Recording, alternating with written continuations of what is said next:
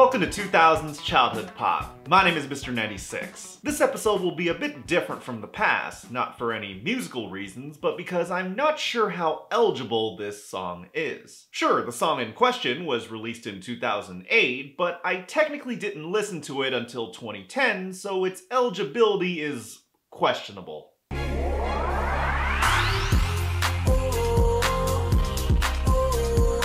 Whether this song is eligible or not, I still feel I have an obligation to educate the public on this curious artist from the late 2000s known as Colby O'Donis. This song was suggested to me by leqant on Patreon. If you want to suggest 2000 songs for me to review, stay tuned until the end of the video. I've had an interest in reviewing a Colby O'Donis song for a while, which is ironic because probably no one has thought of the man in a very long time. This song especially. During the 2000s, I only ever knew Colby O'Donis as that guy who appeared on Just Dance by Lady Gaga. Hell, I honestly have a more interesting story about how I discovered Just Dance than I do for What You Got. Before most of us knew Lady Gaga by name, I first discovered Just Dance when she performed it live during Miss Universe 2008.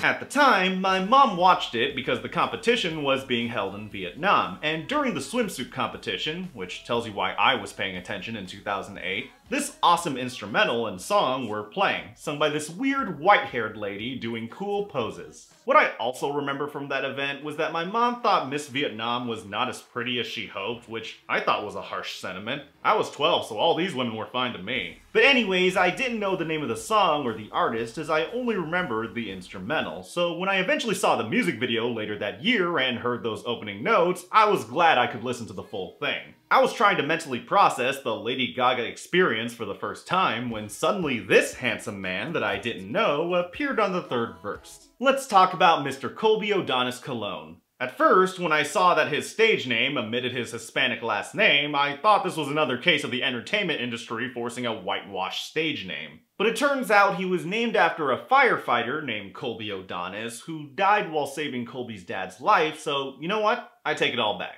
In 2006, Colby O'Donis was about to sign with Babyface's label, but before that could fall through, O'Donis's management was able to set up a meeting between him and Akon. Akon ended up loving his stuff and recruited him to sign with his own label, Konlive Distribution. And so, with Akon's endorsement, Colby O'Donis officially signed with him in 2008, and he dropped his debut album and debut single.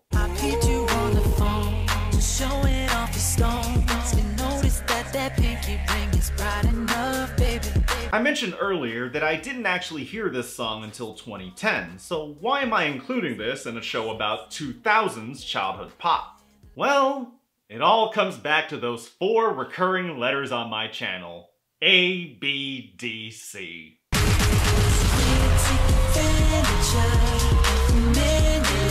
Yes, in season 5 of America's Best Dance Crew, the crew Heavy Impact had to perform in the style of Colby O'Donis's What You Got. I have referenced ABDC in 2000's childhood pop probably too many times to count, but as a result, it sort of provides me some wiggle room. So yes, I technically didn't hear this song until 2010, but ABDC is such an integral part of my music-loving youth that it feels so tied to that era of the late 2000s and early 2010s. In addition, let's talk about the concept of decades. People should know by now that decades are just an arbitrary measure of time and that trends don't neatly fit into these divisions. Things constantly evolve, so a lot of major trends in a decade usually don't start until a few years in. For example, the early 2010s were just a continuation of the club trends in 08 and 09. Really, it wasn't until Royals by Lorde dropped in 2013 that pop music truly changed to the moodier aesthetic prominent throughout the 2010s as we know them today. Plus, you can't just summarize a decade with a few songs. 2010 has way more in common with an artist like Fergie than it does with someone like Billie Eilish. What I'm trying to say with all of this is that I'm relaxing my criteria for song eligibility as me listening to a song in 2010 shouldn't merely be a disqualifier.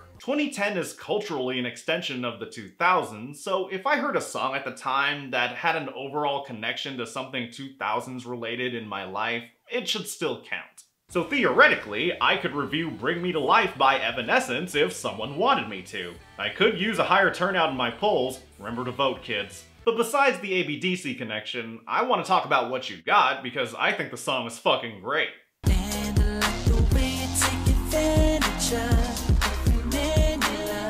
In many ways, this song could only be made in 2008. It has the R&B stylings of the mid-2000s, but it also has a bit of the electropop sound that would explode in 2009. In that way, I could see how it got popular, as it's a very pleasant tune to listen to, but at the same time, it makes you wonder how much of that was because of Colby himself. I mentioned how Colby signed with Akon's label, but I didn't mention how even his music is very Akon-esque in its sound. While Colby's voice isn't exactly like Akon's, it definitely has that tone of soulful enough, but not enough to hide your bulging lust. In addition, Akon co-produced the song, so I'm starting to believe that it became a hit because it was an Akon-like song performed by Akon's protege at a time when Akon was super popular. Oh yeah, and Akon was a guest feature. That somehow slipped my mind despite his presence being pretty ubiquitous elsewhere. In a way, it sort of reminds me of how Lil Baby's first big hit, Yes Indeed, made it to the top 10 purely because of Drake's star power and influence. As a result, it made it hard for me to see the appeal of Lil Baby himself. But the difference between Colby and Lil Baby is that Lil Baby eventually developed his own identity and string of hits, and he's definitely more respected than Drake in our current year of 2024. Now, this is just pure speculation on my part, but if I had to guess why Colby O'Donis didn't become a household name, I'd say it was because he couldn't escape Akon's shadow. It's hard to say if he's a one-hit wonder or not, because technically he's more known for Just Dance than he is for his own song. But to be fair, people don't tend to count features towards an artist's hits catalog. I mean, we all think of Chamillionaire as a one-hit wonder, yet I don't see anyone talk about his feature on Ciara's Get Up as his second hit, so for my money, features do not count. As a result, I don't count Colby as a two-hit wonder. Or a three-hit wonder. Oh yeah, he was actually part of a third hit song that people tend to forget nowadays. Besides What You Got and Just Dance, there was another hit featuring Colby O'Donis that people don't seem to remember. And of course, it was by Colby's mentor.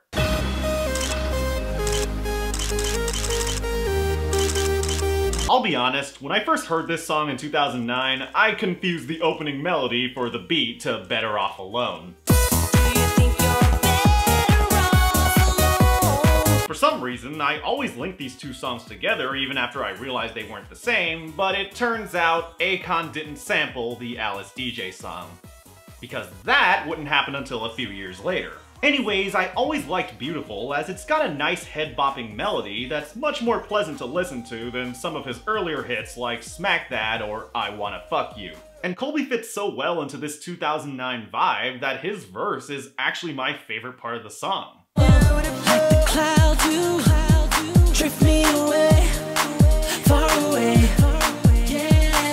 Colby O'Donis has a much warmer sounding voice than Akon, so he provides a nice contrast to Akon's more aggressive style, making the entire aesthetic of the music feel much more layered. About seven years since I made my 2009 best list, a list I have many regrets about, and one of those regrets is that I didn't put Beautiful on the list proper. But after that, Colby O'Donis just disappeared from the public eye. You think that Akon connection would have led to more career opportunities, but that ended up being a terrible decision in hindsight. Being Akon's protege may have been lucrative in the mid to late 2000s, but that clout was not going to help him in the 2010s. Other than being on Sexy Chick by David Guetta, as well as a posthumous song by Michael Jackson, Akon would be surprisingly absent from the charts in the 2010s. He mostly spent the decade focusing on philanthropy and donating to charities in Africa, which, you know what? Good on him. It's a much better and more productive use of his time than trying to make club jams in a post-Royals era of pop. I could mention that he dropped a 2019 reggaeton album that went nowhere, but that's completely beside the point as he had better things to do. And if you think Akon singing in Spanish is weird, you want to know how I first discovered Akon as a kid?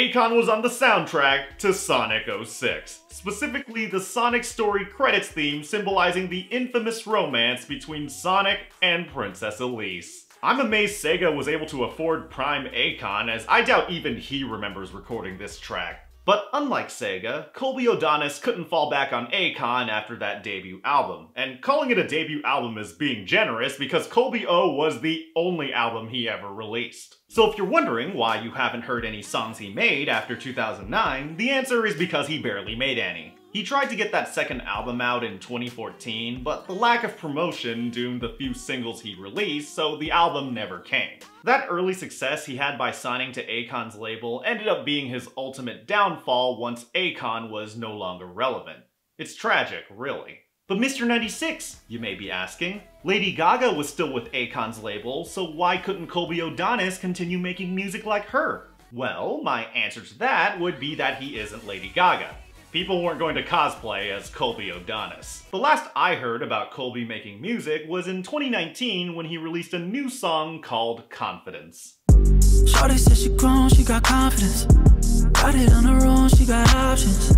Instead of following the style of Akon's late 2000s pop, he decided to follow the style of The Weeknd's late 2010s pop. Seriously, it sounds so strange hearing the Just Dance guy singing the trap beats. I don't have much to say about the song other than Colby O'Donis seems to pop in and out of existence on social media. On his Facebook page, he made a post last February talking about his new single Confidence, and one of the comments straight up says, That song came out four years ago, Colby. Maybe his sense of time was fucked up by the pandemic like all of us, but it's just funny to think about how he's still never released that second album.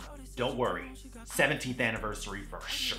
So whether or not you consider Colby O'Donis a one-hit wonder, I still think his one hit as a lead artist is great. I don't listen to it every day, but whenever I'm reminded of it, I definitely play it on loop for a while. Though I do wonder what pop music would have been like if Colby O'Donis became famous enough to have a fan base. Perhaps he would have been seen as the Weeknd Light rather than Akon Light.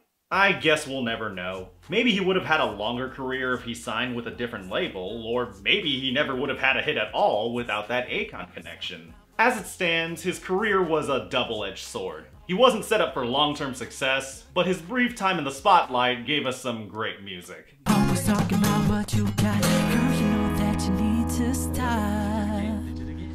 Once again, I want to thank leqant for suggesting this, as Colby O'Donis holds a strange place in pop history. And if you want to suggest 2000 songs for me to review, you can join my wonderful patrons on Patreon. For just $1 per video, you can join my patron-only Discord server where we chat and chill, and at $2 per video, you get to vote on what songs I review for my series 2000s Childhood Pop. At $5 per video, you get to be listed in my Names of Fame, and at $10 per video, you get a personal shout through the heart along with Casey Volante, Jason Semler, and Prideful Zella. Once again, I'm Mr. 96. If you want to see more pop reviews, click the subscribe button below and tap that bell to be notified when I drop a new episode. Next will be the corrections video, and then it's the worst list in December. Pop songs may come in numbers, but there's only one.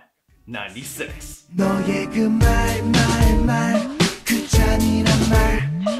Assina